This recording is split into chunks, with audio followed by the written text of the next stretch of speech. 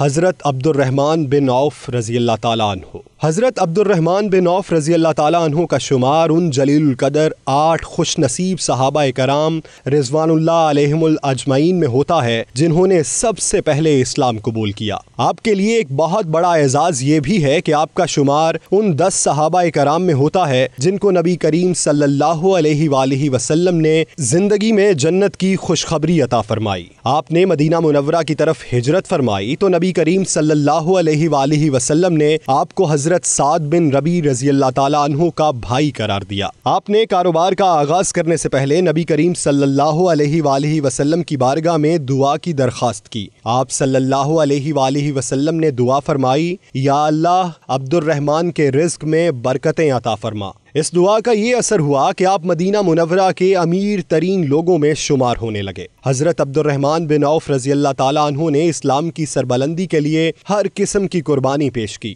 ہر موقع پر بڑھ چڑھ کر خدمت سر انجام دی۔ ایک مرتبہ اپنے سات سو اونٹوں کا قافلہ راہ خدا میں پیش کر دیا۔ آپ کا دسترخوان بہت وسیع ہوتا تھا۔ جب کوئی لذیذ کھانا سامنے آتا تو غربت کے دور کو یاد کر کے آپ کی آنکھوں میں آنسو آ جاتے۔ حضرت عبد الرحمن بن عوف رضی اللہ تعالیٰ عنہ کی ایک خاص خوبی یہ بھی تھی کہ آپ کو سرور دو عالم صلی اللہ علیہ وآلہ وسلم نے ریشمی لباس پہننے کی خصوصی اجازت عطا فرمائی، جو کہ کسی اور کے لیے جائز نہیں۔ آپ بہت بہادر اور جری انسان تھے۔ غزوہ بدر، احد اور خندق میں رسول اکرم صلی اللہ علیہ وآلہ وسلم کے ہمراہ رہے۔ اسلام کی ترویج و اشاعت اور تبلیغ کے لیے آپ کی بہت خدمات ہیں۔ آج آپ کا یوم وصال ہے۔